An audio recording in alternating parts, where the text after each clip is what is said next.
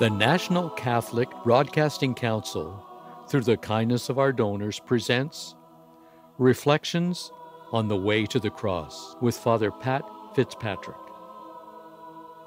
Please welcome our host, Deacon Mike Walsh. Jesus' journey to the cross and then the tomb is a concrete illustration of God's love for humankind. Out of the love for every single person, Jesus left God the Father and emptied himself by coming to live among us. Each of us is the beloved child of God, and nowhere is that more evident than the painful, brutal journey that Jesus took to the cross. We come face to face with Christ in those who suffer. Through these stations of the cross, we follow in Jesus' footsteps from Pilate's palace to Calvary. Let us now mark ourselves with the sign of the cross and walk with Father Pat Fitzpatrick on the way to the cross.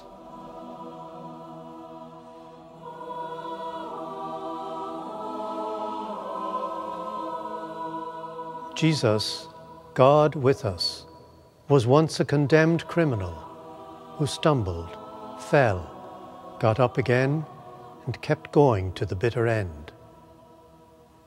Jesus knew what it was to suffer. This is the cup the Father has given me, he had said. Shall I not drink it? God suffered in Jesus. God continues to suffer in millions of people. We come face to face with Christ in those who suffer. Today, we follow in Jesus' footsteps from Pilate's palace to Calvary. We mark ourselves with the sign of the cross and walk the way of the cross.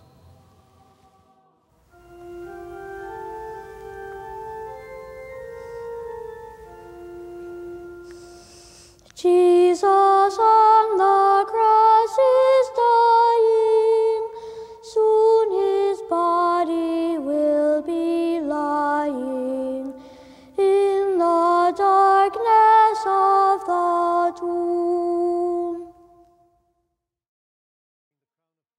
First station Jesus is sentenced to death.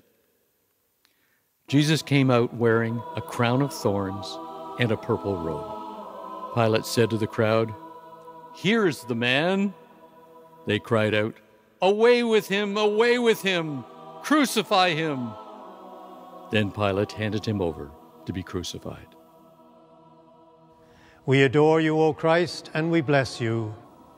Because by your holy cross you have redeemed the world. The religious leaders sought the death penalty for Jesus. He was more than they could take. But the death penalty was not theirs to carry out. So they brought him to Pilate. I will have him flogged and let him go, said that crowd pleaser. You're no friend of Caesar if you let him go, they replied. Crucify him, crucify him, said the crowd. They had their way. Pilate released Barabbas and sentenced Jesus to death mob justice. The guilty are let off, the innocent are convicted. This is the cup the Father has given me. Shall I not drink it? God's own mother, purest maiden, sees the sinless ones in laden. Blessed fruit of blessed womb. The second station Jesus carries his cross. Carrying the cross by himself, Jesus went out to what is called the place of the skull.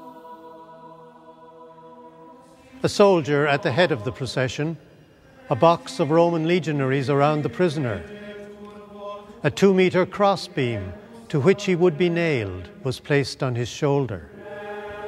His final walk of about 600 meters had begun. Crosses come in different shapes and sizes. How well do I carry my cross, my health, my moods, my tensions, my handicaps, my job, my family, the way I'm treated? This is the cup the Father has given me. Shall I not drink it? Mary's heart for him she sees her son's heart breaking, so that love may be revealed. The third station Jesus falls the first time. The prophet Isaiah tells us that he has borne our infirmities and carried our diseases. He was wounded for our transgressions, crushed for our iniquities. Upon him was the punishment that made us whole. The crossbeam began to sway, and Jesus staggered. In a moment, he pitched forward. The beam hit the ground, hung standing for a second, then dragged him down to the cobblestones. Crosses never fit snugly onto shoulders. They get heavier with each succeeding step. We struggle to stay on our feet. We collapse under the weight of our particular cross. We fall flat on our face. This is the cup the Father has given me. Shall I not drink it?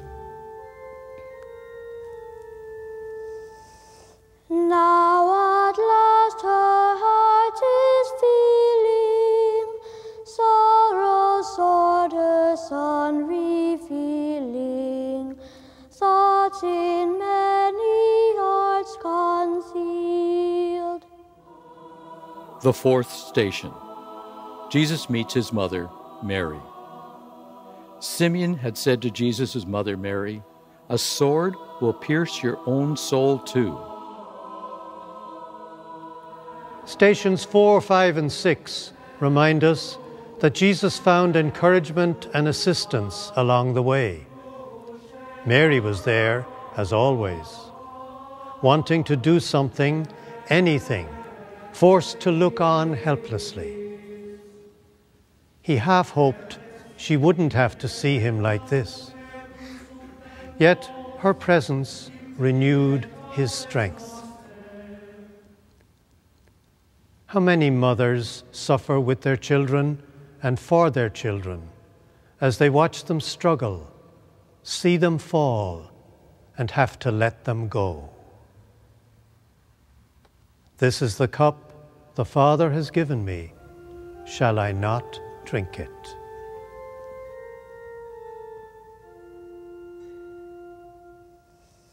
How could pity not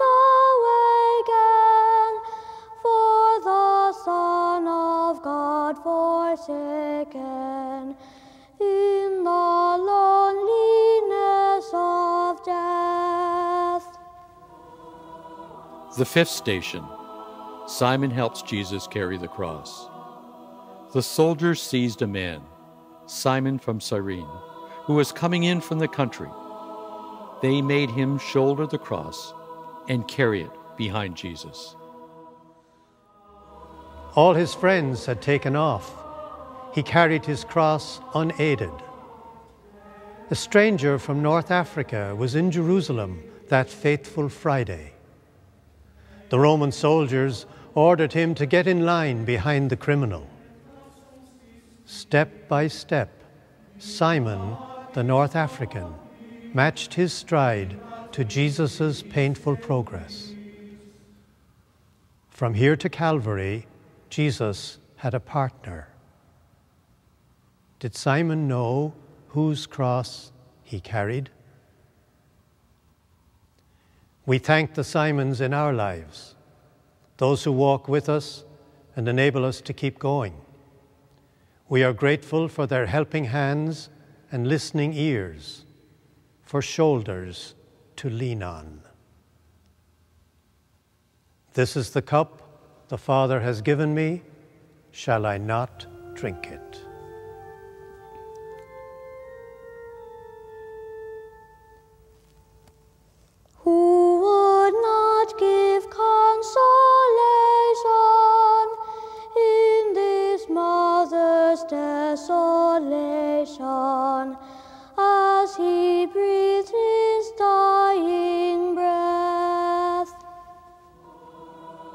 The sixth station Veronica wipes the face of Jesus. Tradition holds that Veronica, one of the holy women who accompanied our Lord to Calvary, was moved by his suffering and offered him a towel to wipe the sweat and blood from his face. When Jesus handed the cloth back to her, the image of his face remained imprinted on it. A woman in the crowd saw him coming down the road. As he drew near, she noticed how weary, marred, and disfigured he was. Undaunted by what others thought, she removed her veil, approached him, and gently wiped his grimy face.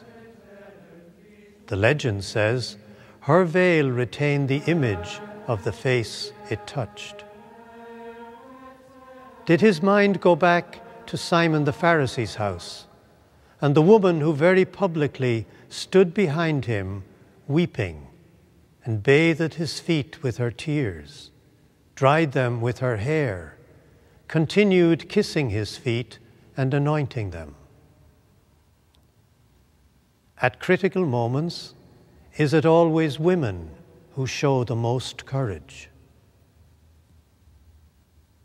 This is the cup the Father has given me. Shall I not drink it?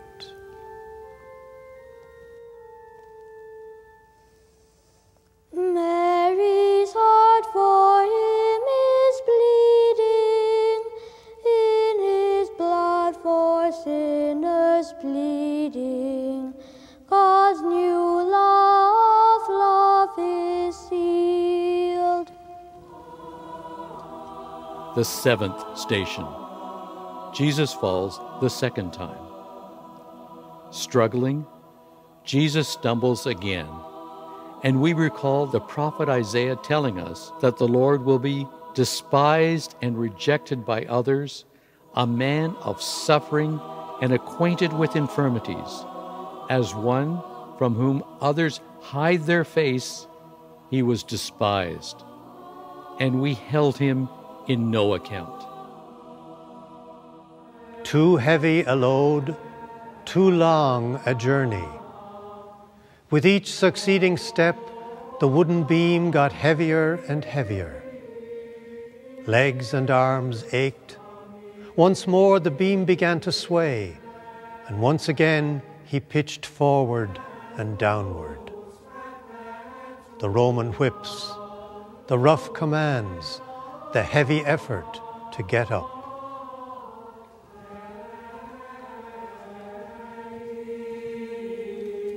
So many people have difficulty putting one foot in front of the other. How far more, O Lord, how far more? One step at a time, more than halfway there now. This is the cup the Father has given me. Shall I not drink it?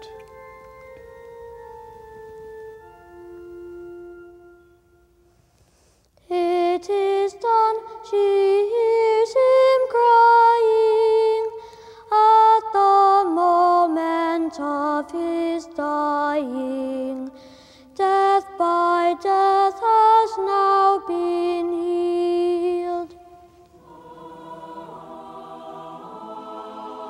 The eighth station. Jesus meets the daughters of Jerusalem. Jesus turned to them and said, Daughters of Jerusalem, do not weep for me, but weep for yourselves and for your children. The women had compassion for the condemned man. Their hearts went out to him knowing what awaited him at the end of the road. Was he warning them not to be part of this Jerusalem way of doing things?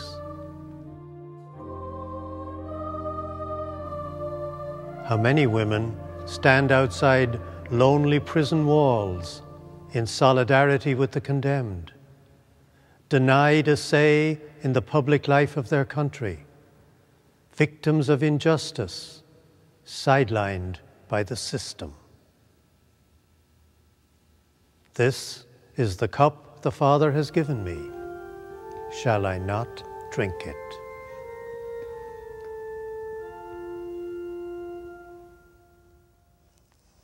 Let me stand beside you, sharing grief for Jesus, my sins bearing on the cross of Calvary. The ninth station Jesus falls the third time. As Jesus lies on the ground for a third time, we again remember the words of the prophet Isaiah, who foretold that the one to come would be wounded for our transgressions, crushed for our iniquities. Upon him was the punishment that made us whole, and by his bruises we are healed. Another fall, tempted to remain down and out. Why not give up? right here, right now. Another painful effort to get back up as Simon lifted the crossbeam for him.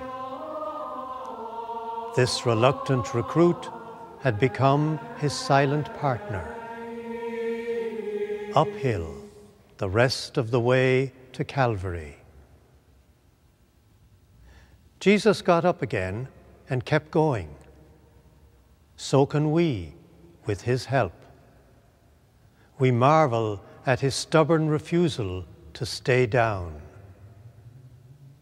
Down to earth, yes, but never down and out.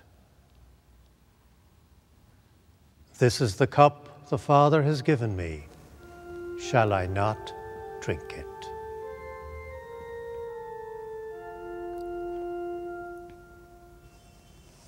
By the cross your vigil keeping, let me share your silent weeping. Pierce my heart with sorrow's sword. The tenth station Jesus is stripped of his garments. They divided his clothes among them casting lots to decide what each should take. Calvary at last. Outside the crowded, self absorbed city preparing for the Sabbath. Stripped naked, all dignity peeled off. A public spectacle. For many years, no place to lay his head, now no clothes to wear, nothing left to call his own. One of his own, an informer, another, a denier, the rest, nowhere near. We think about victims of war, victims of torture victims of the system, raped and violated, demeaned and publicly derided. This is the cup the Father has given me. Shall I not drink it?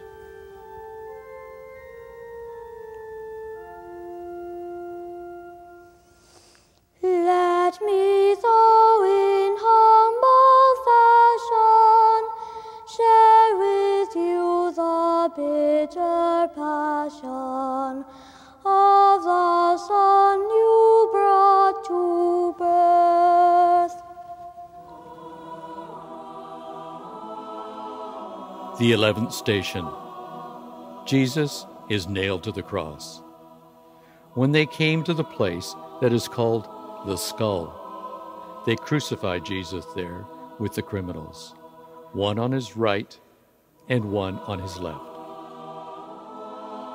Crucifixion, gruesome, gory, capital punishment. Nails driven through wrists and feet. Death through loss of blood and breath. Death through suffocation. No morphine to deaden the pain. Elie Wiesel recalls the concentration camp the day a child was hanged. His body did not weigh enough to tighten the noose around his neck. So he hung there, swaying in the desolate air. I heard a man behind me asking, Where is God now? I heard a voice within me answering, Where is he? Here he is, hanging here on this gallows. This is the cup the Father has given me. Shall I not drink it?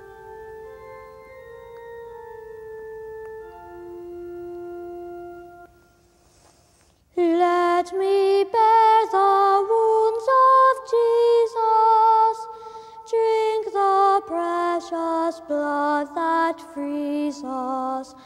Glory only in his cross.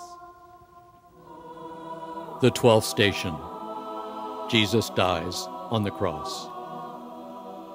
When Jesus knew that all was now finished, he said, I am thirsty.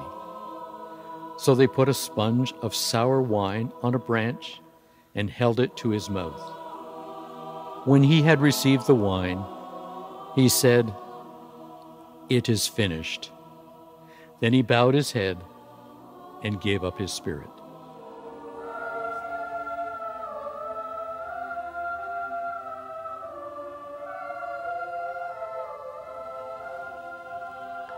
Sentenced Friday morning, executed Friday afternoon. Only Mary, along with the disciple he loved and some brave women, kept him company. Ridicule and searing pain. A victim of the system forgave his executioners. The innocent are still put to death with bullets, bombs, and bulldozers under the name of collateral damage. He drank the cup to the bitter end because he loved us to the end. Can you and I drink our cup?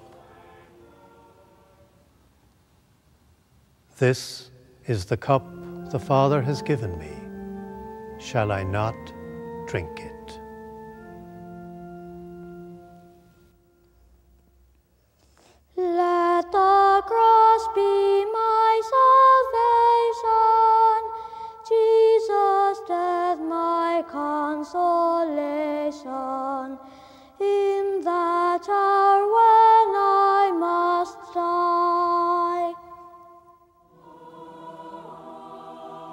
The thirteenth station Jesus is taken off the cross. Joseph of Arimathea, a secret disciple of Jesus, came and removed his body. He and Nicodemus, who had first come to Jesus by night, wrapped the body in linen cloths. After 30 years, Mary had him in her arms again. All she could offer now was her presence and her lap and her embrace. She held him once at Christmas. She held him now at crucifixion. Silent, faithful Mother Mary. Awake, a funeral home moment, keeping vigil near a casket, thoughts of times gone by, of how it used to be, letting loved ones go to God. This is the cup the Father has given me. Shall I not drink it?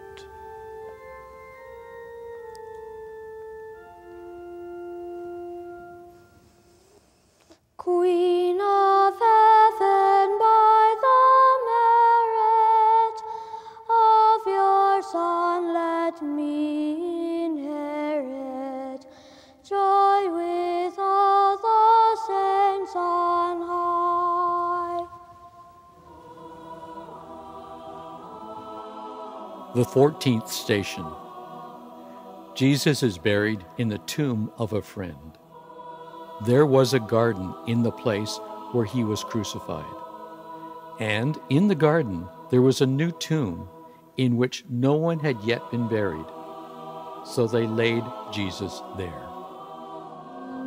Born in another's barn, buried in another's tomb. An unexpected offer of a tomb from Joseph of Arimathea. A tomb hewn out of rock. A stone rolled in place. A hurried burial before Sabbath. That Friday afternoon, the women took note of the tomb and how his body had been laid. They would return before dawn on Sunday. They buried him quickly, but not for long. He would burst the bonds of burial. By Sunday, the firstborn from the dead would leave behind an empty tomb. Why do you look for the living among the dead? He is not here, he is risen. This is the cup the Father has given me. Shall I not drink it? Mary, you were there as always, there when he was taking shape within your womb, when you gave birth to him in distant Bethlehem, when he asserted teenage independence in the temple, through all the years at Nazareth, when he had gone from home and Joseph was no longer there. There along the final journey, standing there at the foot of the cross. There now as you cradle him once more. Mary, survivor of Calvary, give us strength. Be there for us, now and at the hour of our death. Amen.